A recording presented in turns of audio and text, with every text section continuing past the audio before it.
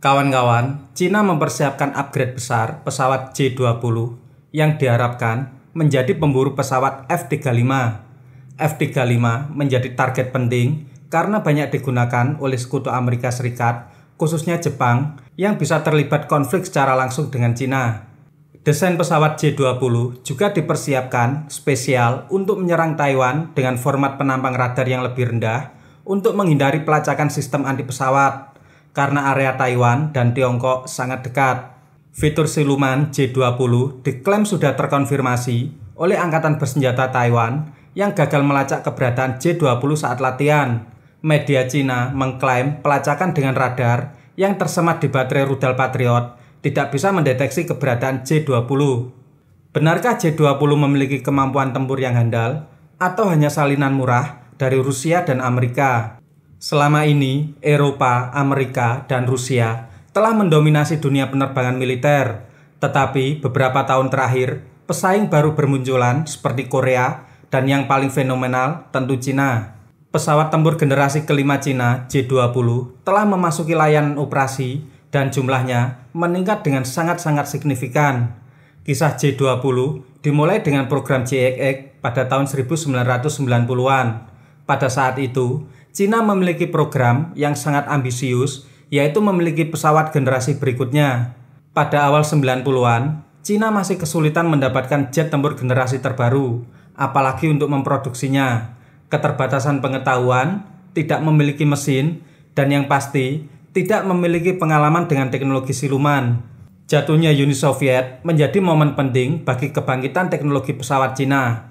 Langkah Cina untuk membangun pesawat tempur masa depan mendapatkan hampir semua akses teknologi papan atas. Pemerintah Rusia dan Ukraina yang baru terbentuk membutuhkan dana besar untuk membangun infrastruktur. Tahun 1990-an hingga tahun 2000-an diperkirakan terjadi banyak transfer teknologi dari Rusia ke Cina. Kebocoran data dari F-35 Amerika Serikat diduga dimanfaatkan Cina untuk memanfaatkan desain pesawat tempurnya, terutama pada fitur siluman.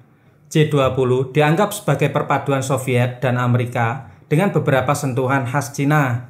Setelah terpilih menjadi pemenang tender pada tahun 2008, Chengdu Aircraft Corporation meluncurkan prototipe pertama pada tahun 2011. Saat pertama diluncurkan, banyak pihak yang meremehkan J20 Mighty Dragon. Pada awal diluncurkan, desain J20 memang sangat dekat dengan F22 dan F35. Tetapi jika diperhatikan, J20 mengambil desain yang sangat matang pada F22 dan F35 dengan menggunakan sayap delta dan kanat yang diadopsi dari jet tempur fighter Rafale dan Eurofighter Typhoon. Dari segi dimensi, J20 sangat besar dengan panjang 21,41 meter, lebar sayap 13,01 meter, tingginya 4,69 meter, memiliki berat kosong 17.000 kg dan berat lepas landas maksimal 37.000 kg.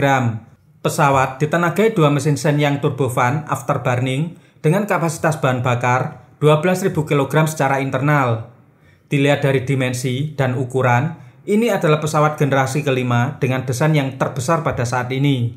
Konfigurasi sayap delta digunakan karena isu ketidakstabilan akibat kurangnya penstabil horizontal di area belakang pesawat. Sementara penstabil vertikalnya lebih mirip dengan F-35, tetapi dengan versi yang bisa digerakkan mirip dengan Sukhoi Su-57. Ide penstabil vertikal dan kanat yang digunakan benar-benar inovatif dan cukup mengejutkan. Kemungkinan terinspirasi MiG-144 dengan sirip perut belakang untuk stabilitas tingkat lanjut. Desain hidung pesawat J-20 terlihat seperti copy paste dari F-22 dan F-35 jika diperhatikan dari depan, Detail menarik lainnya adalah Intek DSI yang sangat inovatif. Lokasi senjata J20 tersegmentasi menjadi tiga kompartemen seperti pada F22 dengan kompartemen utama digunakan untuk rudal jarak menengah dan jarak jauh seperti PL12 dan PL15. Kompartemen bagian samping digunakan untuk senjata jarak pendek yang dipandu inframerah. Detail menarik dan unik dari kompartemen ini adalah pintu kompartemen senjata samping yang benar-benar tertutup dan akan dikeluarkan saat terjadi pertempuran. Solusi ini menurunkan drag mesin, menambah aerodinamis, dan mengoptimalkan fitur siluman. Rudal akan menggunakan energi dengan sangat efektif pada tahap awal serangan untuk memaksimalkan fitur pengunci panas. Secara total, J20 bisa membawa 6 rudal, lebih banyak dibandingkan dengan F-35 dan lebih sedikit dari F-22 Raptor yang bisa menggendong 8 rudal. Modifikasi bagian sayap digunakan untuk menyimpan bahan bakar tambahan. Masalah utama industri penerbangan Cina selama beberapa puluh tahun adalah mesin. Prototipe awal J20 ditenagai oleh mesin AL31F, mesin yang sama digunakan pada pesawat tempur J10. Ketergantungan Cina pada mesin Rusia menjadi masalah yang harus diselesaikan jika Cina ingin menantang jet generasi kelima lainnya. Mesin WS-10 tidak mampu terbang dengan kecepatan supersonik tanpa menggunakan afterburner, sehingga J20 menggunakan varian upgrade Shenyang WS-10C Sementara mesin paling canggih yang direncanakan untuk digunakan, yaitu WS-15C, mengalami kegagalan saat uji coba pada tahun 2019. Mesin WS-10C memiliki daya dorong 142 sampai 147 kN dan memiliki nozzle afterburner bergerigi untuk meningkatkan kemampuan siluman di bagian belakang. Cina sangat terobsesi dengan mesin Xi'an WS-15 karena memiliki daya dorong 180 kN yang diperlukan untuk Super Cruise. Pengembangan mesin sedang berlangsung pada tahun 2019 dan pada Maret 2022, media pemerintah Cina melaporkan bahwa J20 telah melakukan uji coba dengan mesin tersebut dan mengalami peningkatan performa yang sangat signifikan. Bahan komposit menjadi pilihan Cina untuk diterapkan untuk meminimalkan penampang radar J20. Diverless Supersonic Inlet memungkinkan pesawat mencapai Mach 2 dengan asupan yang lebih sederhana dibandingkan teknologi tradisional, sehingga meningkatkan kinerja siluman dengan menghilangkan pantulan radar antara diverter dan kulit pesawat. Analis juga mencatat bahwa DSI J20 mengurangi kebutuhan penerapan bahan penyerap radar. Reflektor radar yang dapat dilepas dipasang di bagian bawah J20 untuk memperkuat pantulan radar, sehingga bisa menyembunyikan tanda radar yang sebenarnya. Pada model produksi 2021, emitor direkayasa ulang agar dapat ditarik ke dalam. Terlepas dari perdebatan mengenai kemampuan siluman J20, analis militer setuju bahwa desain siluman J20 lebih unggul dari Su-57 Rusia, serta profil silumannya dapat lebih ditingkatkan seiring dengan matangnya program. Beberapa analis menyatakan bahwa J20 didesain untuk memburu dan membunuh pesawat F-35 Amerika Serikat yang banyak digunakan oleh sekutu.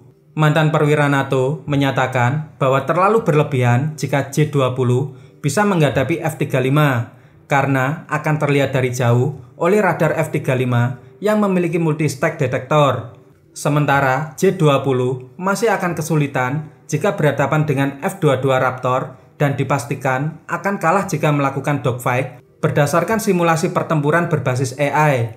Namun, untuk mencegah ancaman F-22, J-20 akan berpartner dengan J-10 dan J-11. Cina telah melakukan upgrade cukup besar pada J-10, khususnya pada fasilitas radar, dengan mengupgrade ke sistem radar baru, yaitu KL-24. J-20 bisa menjadi pembuka jalur untuk membangun superioritas udara bersama J-10 dan J-11. Format serangan kombinasi ini akan sulit diprediksi siapa yang akan lebih superior di pertarungan udara nanti.